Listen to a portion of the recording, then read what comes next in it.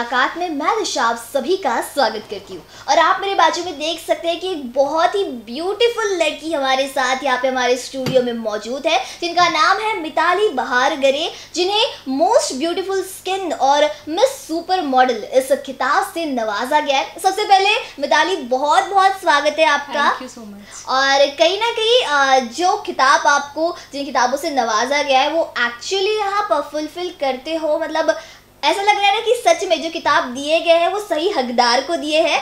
You are actually beautiful man well Mitali अ, ये जो competition हुई थी लखनऊ में मैं चाहती हूँ आप दर्शकों को हमारे बताएँ इस बारे में। ये dream production house Sharad Chaudhary के तरफ़ से ये कंपटीशन हुआ था। अ, मतलब सारे इंडिया से मो- इंडिया सुपर मॉडल इंटरनेशनल 2021 जिसका नागपुर में भी ऑडिशन हुआ था प्राइड होटल में। सो so, नागपुर से मेरा सिलेक्शन हुआ था। तो नागपुर से मैं सिंगल लड़की वहाँ पर गई थी। ओके अब मिताली जब आप इस कंपटीशन की स्टेजेस के थ्रू जा रही थी तो लाइक ऐसे बहुत मोमेंट्स आए होंगे जहाँ पे आपको फील हो रहा होगा कि यार मैं ये कर पाऊँगी या नहीं। तो ऐसा कोई मोमेंट जो आप हमारे दर्शकों के साथ शेयर करना चाहते हैं? फ़र्स्ट डे तो जब वहाँ पर एंटर हुई तो बहुत सेवेंटी गर्ल्स थी वहाँ सारे इंडिया से अलग अलग जगह से तो बहुत ज़्यादा टफ कंपटीशन लगा अच्छा। बट uh, उतना कॉन्फिडेंस था कि कुछ तो हो जाएगा। अच्छा होगा। ओके मिताली क्या ये फ़र्स्ट टाइम था कि आप किसी कंपटीशन में एज एन मॉडल उतर रही या फिर इसके पहले भी आप किसी कंपटीशन uh, में उतरी थी? किसी ब्यूटी पेजेंट में मैंने ट्राई नहीं किया था इसके पहले। Okay. ये मेरा फ़र्स्ट टाइम था Okay. और वो क्लियर हो गया। ओके तो मतलब पहली शुरुआत ही जो आगाज़ हुआ है वो ही बहुत अच्छा हुआ। तो मतलब अंजाम जो होगा आपका जो आपके सपने देखे आपने वो तो और अच्छे तरीके से हो गए। अविल अविताली कहीं ना कहीं ये आ, बोला जाता है कि यार modelling is not the perfect career option मतलब बहुत बार लड़कियों को बोला जाता है कि मॉडलिंग नहीं करो ठीक है। बट इस सारी चीज़ों में भी आपने मॉडलिंग को चुना। इसके पीछे की कहानी जानना चाहती हूँ आपसे। चाइल्डहुड से ही मेरा ड्रीम था मॉडलिंग और एक्टिंग में। जब भी मैं टीवी देखती थी तो वही लगता था कि मैं भी कभी टीवी में दिखूँ। Okay. तो वही चाइल्डहुड से एक ड्रीम था। तो इसीलिए और फैमिली का भी बहुत अच्छा सपोर्ट है। सो so, इसीलिए मैंने इसमें ट्राई किया। ओके मिताली कहीं ना कहीं लोग कहते हैं कि यार जो बहुत ही ब्यूटीफुल लड़की होती है लड़कियाँ होती है उनका मैथ्स और साइंस कमज़ोर होता है। या फिर एकेडमिक्स मतलब कमज़ोर होता है। क्या ये आपके साथ भी था ऐसा कुछ? हाँ स्टडीज़ में थोड़ा ठीक ठाक ही थी। Okay Okay. मेरा ज़्यादा इंटरेस्ट इसी में था। Okay okay.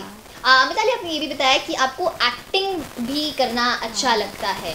तो क्या हम ये कह सकते हैं कि आपको फ़िल्मों में जाना वगैरह भी पसंद आएगा? हाँ हाँ मेरा वही ड्रीम है इसी के थ्रू मैं एक्टिंग में भी जाना चाहती हूँ okay. और मैंने शॉर्ट फ़िल्म भी की हुई है पहले भी नागपुर में जो जसवंत आईनॉक्स में रिलीज़ हुई थी ओके okay. हाँ आ, उन शॉर्ट फिल्म्स के बारे में अगर आप हमारे दर्शकों को कुछ बताएँ वो मोलेस्टेशन के ऊपर था okay. जो लास्ट टाइम जो भी इश्यूज़ चल रहे थे उसके ऊपर Okay. तो उसका भी मैंने ऑडिशन दिया उसमें भी सिलेक्शन हुआ Okay. और आ, वो मुंबई के डायरेक्टर थे रिदेश उन्होंने ये फ़िल्म कराई थी और जसवंत में रिलीज़ हुई थी। मतलब मिताली कहीं ना कहीं मतलब ये भी हुआ होगा कि फैमिली की ओर से कुछ लोग सपोर्ट कर रहे हैं कुछ लोग सपोर्ट नहीं कर रहे हैं मॉडलिंग को as an career option choose करने के लिए।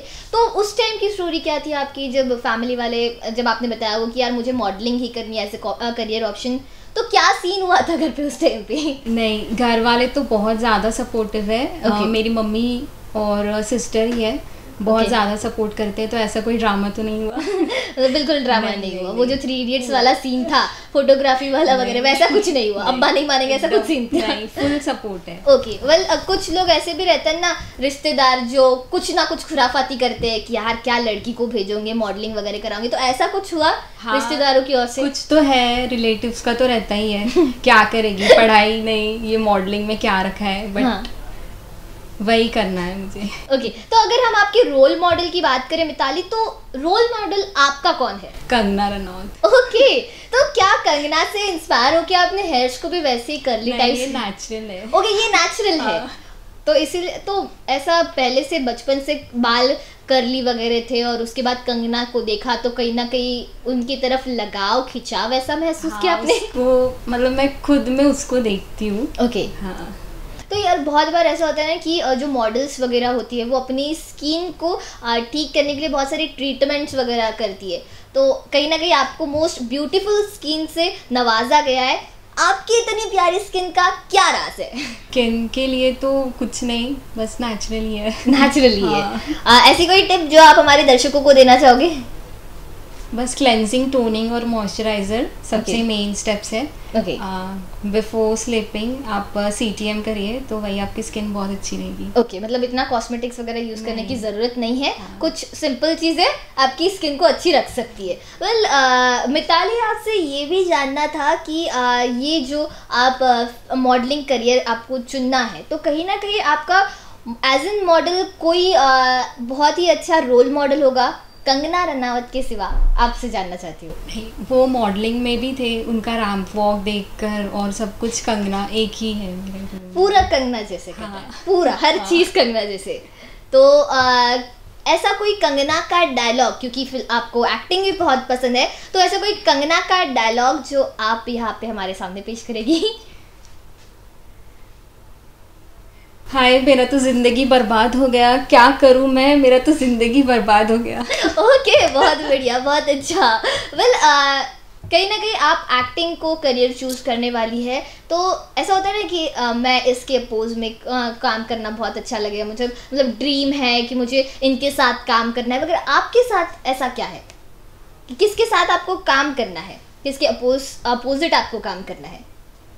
मेरा फेवरेट एक्टर तो है रणबीर। ओके हाँ, उसके ऑपोजिट Okay. और सलमान खान। अच्छा ओके तो सलमान खान और रणवीर कपूर के साथ आपको आ, काम करना है स्क्रीन शेयर करनी है कहीं ना कहीं। आ, मैं आपसे ये भी जानना चाहती हूँ कि बहुत सारी ऐसी लड़कियाँ होती है आ, जिनको एक्चुअली मॉडलिंग के इस करियर में आना तो होता है बट उन्हें पता नहीं होता है गाइडेंस नहीं होता है कि क्या करना चाहिए, किस तरीके से वहाँ पे चीज़ें जाती है। तो उस बारे में आप वो लड़कियों को क्या बताओगे? आपको अगर मॉडलिंग करनी है, अभी तो सारे प्लेटफॉर्म्स है यूट्यूब है, जो भी है, आप उसमें देख सकते हो। और जेन्युइन जो भी है उसका पूरा रिव्यूज़ देखिए। जैसे मैंने ये पेजेंट किया ड्रीम्स प्रोडक्शन हाउस ये बहुत ही जेन्युइन प्रोडक्शन हाउस है। ओके इनका रिव्यूज़ देख के उसके बाद में मैंने इसका ऑडिशन दिया था। ओके तो जो भी है आप सब कुछ देख के कीजिए क्योंकि ये इंडस्ट्री में बहुत सारा ऐसा कुछ होता है बहुत फ्रॉड लोग होते हैं। ओके उनका कोई प्रोडक्शन हाउस नहीं होता है बस ऑडिशन के नाम पे फ़ीस सब लेते हैं बट कुछ होता Okay. नहीं है। तो, तो वही सोच समझ कर ओके करें। ओके कहीं ना कहीं कुछ मॉडलिंग टिप्स जो आप हमारी जितनी भी लड़कियाँ हैं उनको देना चाहूँगी। बस आप डेली अपने स्किन बॉडी और रैम्प वॉक पे ध्यान दीजिए। बस वही मेन है। कहीं ना कहीं ये भी बोला जाता है कि मॉडल्स को कहीं ना कहीं अच्छा कॉन्फिडेंस होना भी हाँ। ज़रूरी है। तो क्या ये जितनी भी लड़कियाँ हैं युवतियाँ हैं उनको भी उनमें भी कॉन्फिडेंस होना इतना ज़रूरी है हाँ, मॉडलिंग के लिए? हाँ आपका स्किन या हेयर या फिर लुक्स के ऊपर उतना ज़्यादा कॉन्सेंट्रेशन नहीं रहता है जैसे इसका आपके कॉन्फिडेंस को ज़्यादा देखा जाता है। ओके अ, तो जिस अ, जिस तरीके से ये आपकी लखनऊ में अ, जो कंपटीशन हुई थी उसमें किस तरीके से जजेस की ओर से जजिंग की गई थी और कैसे कैसे राउंड हुए थे इसके बारे में जानना चाहती हूँ आपसे। फ़र्स्ट तो इंट्रोडक्शन राउंड हुआ था। Okay Okay. इंट्रोडक्शन के बाद टैलेंट राउंड उसमें जो भी है एक्टिंग डांसिंग उसके ऊपर उनका था। First introduction second talent round then swim round था। उसमें बॉडी वॉकिंग सब कुछ देखा।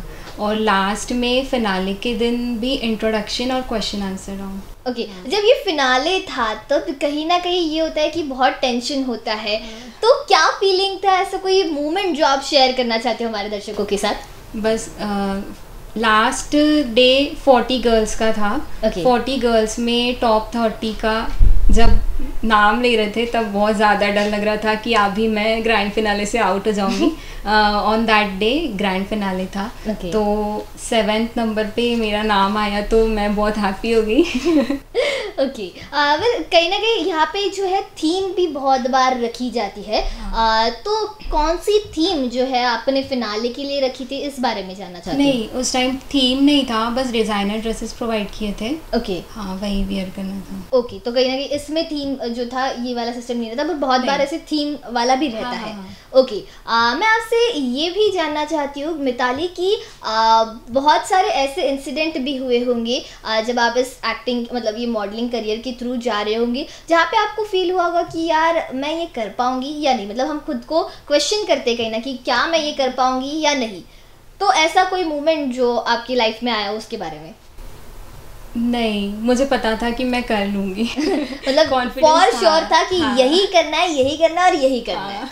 वेल मिताली अभी कहीं ना कहीं आपने मोस्ट ब्यूटीफुल स्किन और मिस सुपर मॉडल ये दो खिताब जीते हैं तो आगे आपकी फ्यूचर एक्सपेक्टेशंस क्या है आप आगे क्या करने वाली है इसके बारे में दर्शकों को बताइए इसके बाद मैं रियलिटी शोज़ में ट्राई करने वाली हूँ रोडीज और स्प्लिट्स वाला Okay. तो उसका ऑडिशन अभी होने वाला है ओके हाँ। कहीं ना कहीं नागपुर को आप वहाँ पे रिप्रेजेंट करोगे हाँ। जो। नागपुर के लिए बहुत अच्छी बात है कि नागपुर एक अच्छे जगह मतलब रिप्रेजेंट किया जाने वाला है तो यार फीलिंग कैसी है? नागपुर को जब आप रिप्रेजेंट करते हो बताते हो कि मैं नागपुर से हूँ और मैं नागपुर मतलब नागपुर को कहीं ना कहीं आप रिप्रेजेंट करते हो तो वो फीलिंग जो होती है उसके बारे में जानना चाहती हूँ। बहुत बहुत अच्छा फील होता है जब वहाँ जाते हैं। सारे इंडिया से हर एक जगह से वहाँ गर्ल्स आए हुए थे। Okay. और नागपुर से मैं अकेले थी तो बहुत ही अच्छा लग। रहा था ओके वेल मिताली एक आखिरी सवाल जो मेरा आपसे है ये है कि बहुत ऐसी uh, लड़कियाँ हैं जो जिनको इस इसमें आना है पर uh, उनको मतलब अभी तक किसी ने इस टॉपिक के लिए प्रोत्साहित नहीं किया पर उनको लगता है कि कहीं ना कहीं अगर नहीं भी किया मॉडलिंग तो इट्स ओके मतलब हम कुछ और करियर ऑप्शन सोच भी सकते हैं। ऐसी लड़कियों को आप एनकरेज करने के लिए क्या कहेंगी? मैं तो यही कहना चाहूँगी कि आपका जो भी ड्रीम है प्लीज़ आप उसी के उसी उसी को फॉलो कीजिए। स्टडीज़ तो चलती रहती है बट साइड बाय साइड आपको अगर मॉडलिंग में इंटरेस्ट है तो आप ज़रूर कीजिए मॉडलिंग इसमें भी बहुत अच्छा करियर बन सकता है आपका। Okay thank you so much Mitali बहुत अच्छा सेशन रहा आपसे बात करके और कहीं ना कहीं सच में ज़रूरी है एक अ, हर किसी को अपने ड्रीम्स को फॉलो करना। अगर आप कुछ ड्रीम देखते हैं जिस तरीके से मिताली ने देखा उन्हें मॉडलिंग करनी थी या नहीं करनी थी उसके सिवा उन्होंने कुछ और सोचा नहीं वैसे ही आप भी अपने लाइफ में अपने ड्रीम के साथ समझौता ना करें।